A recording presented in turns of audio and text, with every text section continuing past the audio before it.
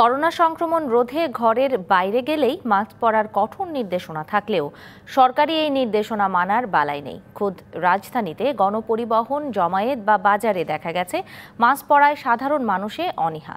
তবে সরকারি অফিসের সেবা নিতে গিয়ে মানা হচ্ছে এই নির্দেশনা। রাজধানীর রাস্তাঘাট বাজার সহ বেশিরভাগ জায়গায় মানুষের চলাচলে ঢিলে ঢালা ভাব দেখে বোঝার উপায় নেই। দেশে করোনা মহামারী চলছে। ফিফটি পার্সেন্ট লোক এখন মাস্ক পরে না। যার জন্য তারা মনে করে এরকম কিছু নাই এখন। মাছ এইভাবে পড়তাছি ধরেন দৌড়াদৌড়ি করতে হয় তো এই জন্য করে নিকাশটা ফেলানো খুব অসুবিধা হয়। করোনা সংক্রমণ রোধে ঘরের বাইরে গেলেই মাস্ক পরার কঠোর নির্দেশনা রয়েছে সরকারের। নেওয়া হয়েছে নো মাস্ক নো সার্ভিস উদ্যোগ। তবে সরকারি এ নির্দেশনার বাস্তবায়ন নেই গণজমায়েত বাজার কিংবা গণপরিবহনে। যাত্রীরা যদি উঠলে আমরা আমাকে তো কিছু করার নাই। আমরা তো বইলাই উঠাই যে ভাই আপনারা মাস্ক ব্যবহার করেন। তবে সরকারি অনেক দফতরেই নিশ্চিত করা হয়েছে মাস্ক। এখানে নো মাস্কটা আমাদেরকে এনফোর্স করতেই হচ্ছে।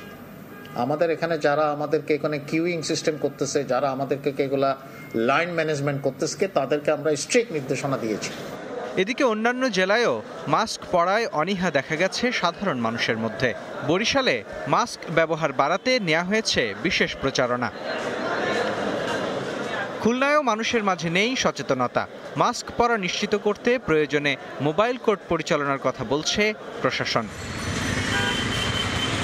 বন্দর নগরীতেও করোনা নিয়ে মানুষের মাঝে কোনো সচেতনতা দেখা যায়নি।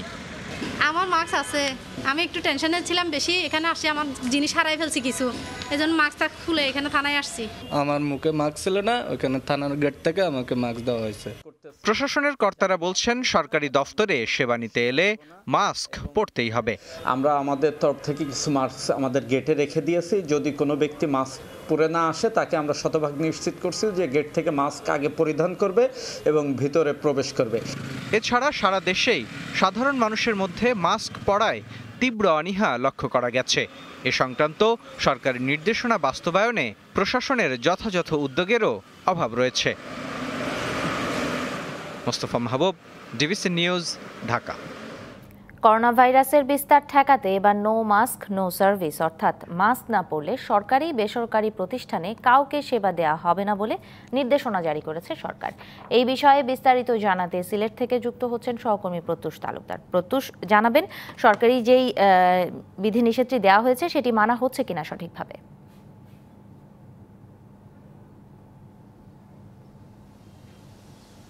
আমি এখন রয়েছি সিলেট জেলা প্রশাসনের কার্যালয়ের সামনে। তার আগে আমি ছোট্ট করে একটি করোনা ভাইরাসের সিলেটে সংক্রমণের পরিস্থিতির কথা জানাতে চাই, সেটি হচ্ছে যে গত চব্বিশ ঘণ্টার যে রিপোর্ট আমরা পেয়েছি, তাতে পুরো সিলেট বিভাগে মাত্র সাঁত্রিশ জন রোগী শনাক্ত হয়েছে, যার মধ্যে সকলেই সিলেট জেলার এবং অন্যান্য তিনটি জেলার, অর্থাৎ হবিগঞ্জ, সুনামগঞ্জ এবং মৌলভীবাজারে কোনো রোগী শনাক্ত হননি। তার বিপরীতে কিন্তু বিয়াল্লিশ জন রোগী সুস্থ হয়েছেন। এটি একটি আসলে পজিটিভ দিক। তো তার পাশাপাশি যে বিষয়টি আপনি বলছিলেন যে মাস্ক পরার যে বাধ্যবাধকতার বিষয়টি, যে এই জেলা প্রশাসকের কার্যালয়ের বিষয়টি যদি আমি বলি, এই জেলা প্রশাসকের কার্যালয় কিন্তু অনেক আগে থেকেই এই ধরনের নিয়ম বেঁধে দেওয়া হয়েছিল জেলা প্রশাসনের পক্ষ থেকে এবং বলা হয়েছিল যে যারা মাস্ক নেই, মাস্ক ছাড়া কিন্তু তারা কোনো অর্থাৎ এই যে কার্যালয়টির প্রধান ফটক দিয়ে ভেতরে প্রবেশ করার কোনো সুযোগ নেই, এখানে রয়েছেন যারা রক্ষী রয়েছেন, নিরাপত্তা রক্ষী রয়েছেন, তারা কিন্তু মাস্ক না ছাড়া তাদের কাউকে প্রবেশ করতে দিচ্ছে না। এছাড়া ভেতরের ডেস্কগুলোর যে অবস্থা দেখেছি, বিভিন্ন সার্ভিস ডেস্ক, সেখানেও কিন্তু মাস্ক নিয়ে পড়ে যেতে হচ্ছে এবং পর্যাপ্ত পরিমাণ হ্যান্ড স্যানিটাইজার রাখা হচ্ছে,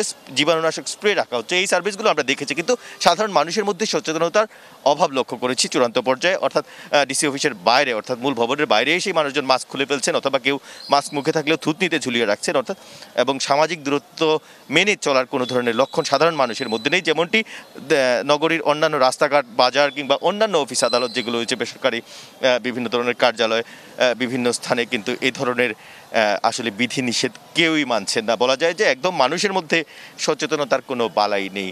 যাই হোক, তারপরেও জেলা প্রশাসনের পক্ষ থেকে বা প্রশাসনের পক্ষ থেকে বিভিন্ন সময় বিভিন্ন ধরনের প্রচার প্রচারণা কিন্তু চালানো হয়েছে। আমরা এই জেলা প্রশাসনের কার্যালয়ের সামনেই বিভিন্ন ধরনের ব্যানার, পোস্টার আমরা দেখেছি। এছাড়াও নগরীর বিভিন্ন স্থানে কিন্তু আসলে ব্যানার, পোস্টার সহ মাইকিং করা হচ্ছে এবং করোনা ভাইরাস রোধে বা করোনা ভাইরাস আক্রমণ থেকে বাঁচার জন্য মাস্ক পরা সামাজিক দূরত্ব নিশ্চিত করার বিষয়গুলো কিন্তু বিভিন্ন ধরনের প্রশাসন প্রশাসনিক পর্যায়ে এবং আইন শৃঙ্খলা রক্ষাকারী রক্ষাকারী বাহিনীর পক্ষ থেকেও এ ধরনের প্রচারণা চালানো হচ্ছে। সব কিছু মিলিয়ে প্রশাসনের উদ্যোগ ভালো, কিন্তু সাধারণ মানুষের মধ্যে সচেতনতা বোধের ভীষণ অভাব লক্ষ্য করেছি সিলেটে। প্রত্যুষ, আপনি নিজে সাবধানে থাকবেন।